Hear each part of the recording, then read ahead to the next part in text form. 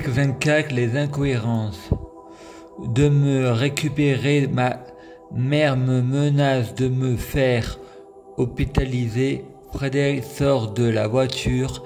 Ma mère répond Si je veux, je t'écrase. Et tout le monde a vu et il n'y a personne pour me défendre.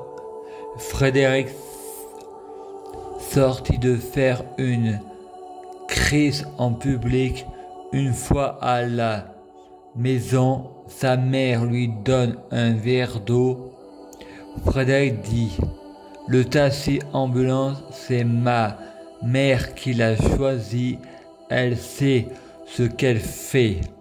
Le mec dit à ma mère Je, je lui fais une piqûre. Frédéric pense, sentiment de doute. J'ai bu de l'eau ou une grog.